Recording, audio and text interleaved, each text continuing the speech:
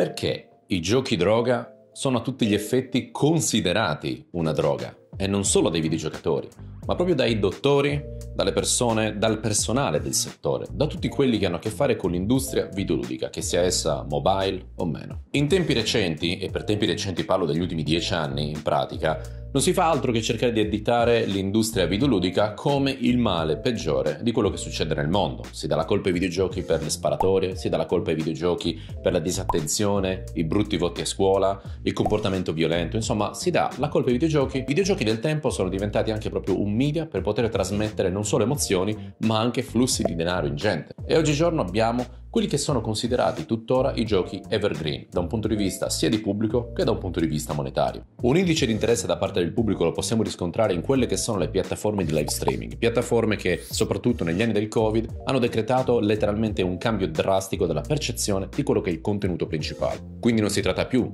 del mero e semplice videogioco, ma anche dell'intrattenimento che quel videogioco può portare a sé, sia da un punto di vista di content creator che da un punto di vista di pubblico. Ecco quindi che abbiamo il pubblico che vuole giocare a quel gioco, gioco, ma ancora non sa se a tutti gli effetti potrà rientrare nella propria quotidianità, forse per le ore che quel gioco richiede per essere completato, forse per la difficoltà che quel gioco presenta. Ed è questo che gli sviluppatori di videogiochi cercano di tenere a mente oggigiorno. Vi faccio anche un esempio. Anni fa, con il lancio del Wii o della Wii, insomma, non so mai come chiamarla, Nintendo spese veramente una barca di soldi per delle ricerche di mercato, per capire a tutti gli effetti cosa mancasse all'interno di un settore che sembrava già sovrappopolato. Ecco quindi che Nintendo ne esce fuori con qualcosa per cui tutti ridevano, tutti la prendevano in giro, dicevano ma va, ma che cosa diavolo stai facendo? Stai veramente investendo in un settore che alla fine è composto da persone che giocano a Call of Duty? È male che vada a Mario e compagnia? Sì, e Nintendo scoprì quindi un anello mancante, un anello di congiunzione spesso volentieri bistrattato, e cioè quello della famiglia. Ecco quindi che Wii, grazie a una spesa esosa e a una scommessa da tutti vista come fallimentare, ha letteralmente cambiato il mercato. E questo da un punto di vista hardware, e sì, poi anche software. Ci serve anche a capire il comportamento di quelli che sono gli aspetti fondamentali per catturare l'attenzione di un videogiocatore. Oggigiorno se guardiamo le classifiche di Twitch, ad esempio, possiamo vedere come in testa ci siano sempre i soliti giochi, tranne qualche rara eccezione. Ma se ci dovessimo dovessimo davvero guardare alle spalle e guardare a tutti gli effetti a quelli che stanno nell'Olimpo, nel Gota dei videogiochi più giocati,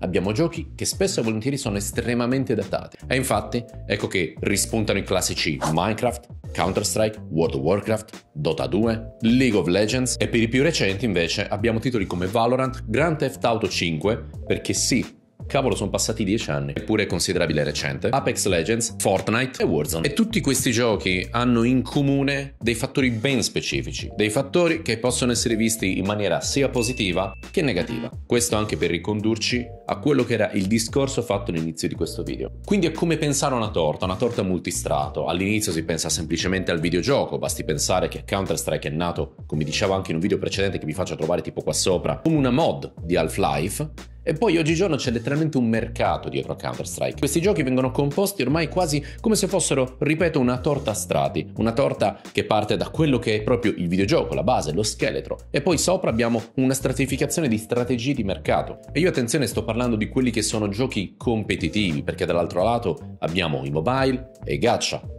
Titoli come Genshin Impact, il nuovissimo Honkai Star Rail, sono giochi che fanno della monetizzazione un protagonista nemmeno troppo silenzioso, un quadro abbastanza generale di quello che è il comportamento del mercato videoludico. Tra gli aspetti principali che possiamo ritrovare in giochi che sono considerabili ormai degli evergreen, quasi per forza più che per merito, sono da ricercare in quello che è l'aspetto competitivo, quello che è l'aspetto di sfida, in quello che è l'aspetto del costo e risultato. Per il giocatore, eh, attenzione, una sfida in una partita di League of Legends può essere combattuta per poi essere vinta e rilasciare quella dopamina che tanto fa venire voglia di premere nuovamente play.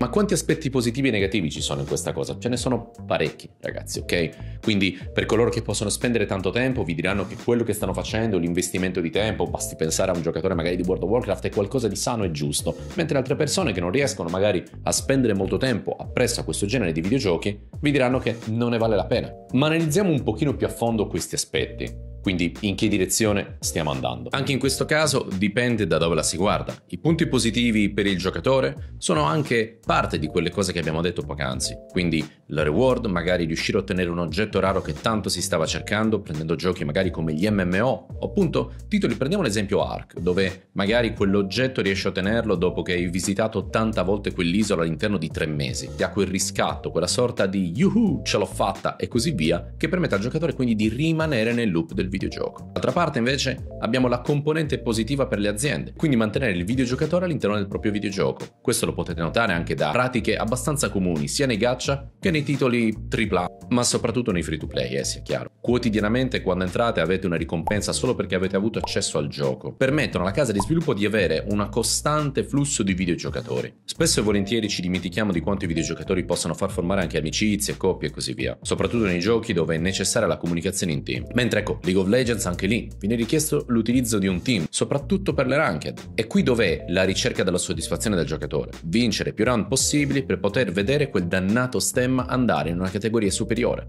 In titoli come World of Warcraft magari sconfiggere quel maledetto boss che richiede la coordinazione di 80 persone per ottenere, non so, una spada unica, così come in Destiny 2 e ne abbiamo a bizzeffe. Ma oggigiorno, nel mondo della comunicazione, nel mondo della percezione, quali sono i titoli che più riescono in questo aspetto. Sono i titoli che sono capaci di entrare nelle case di più o meno tutti, quindi quei titoli nemmeno troppo esosi di risorse, che però possono essere giocati da chiunque. È un po' come il calcio. Il calcio magari può non piacere a tutti, ma tutti possono giocarlo e tutti in qualche modo sanno giocarlo. Sarà perché le regole sono semplici, sarà perché un pallone bene o male è accessibile a tutti. Però ecco quindi che abbiamo in classifica tanti titoli FPS quanti altri MOBA, ad esempio, giochi di carte e i cosiddetti gacha che nel caso di Genshin Impact sono degli action RPG. Sono comunque giochi che possono girare su tante macchine, addirittura pensate un po' giochi come Genshin Impact possono condividere l'account tra mobile e PC, garantendo così un flusso costante di azioni da parte del videogiocatore. E poi abbiamo l'immenso mercato mobile,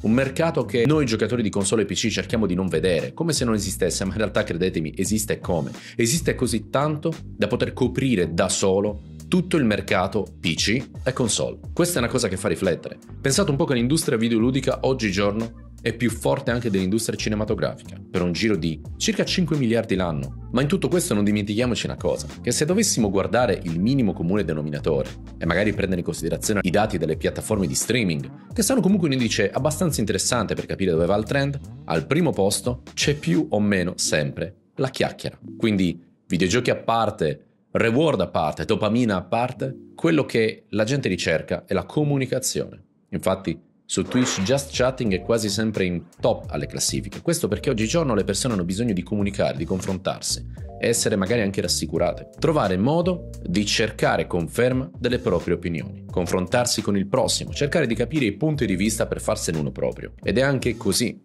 che le case di sviluppo spesso riescono a ingaggiare i videogiocatori nel fidarsi su quello che sarà il prossimo titolo d'uscita, ultimamente deludendo spesso le aspettative. Ecco quindi che si crea un loop perfetto per ingaggiare il videogiocatore ore, ore, ore all'interno del proprio gioco. Una lotta continua fatta a metà strada tra case di sviluppo che vorrebbero trovare la formula del successo e del guadagno facile e videogiocatori che sono in cerca sempre di una nuova sfida.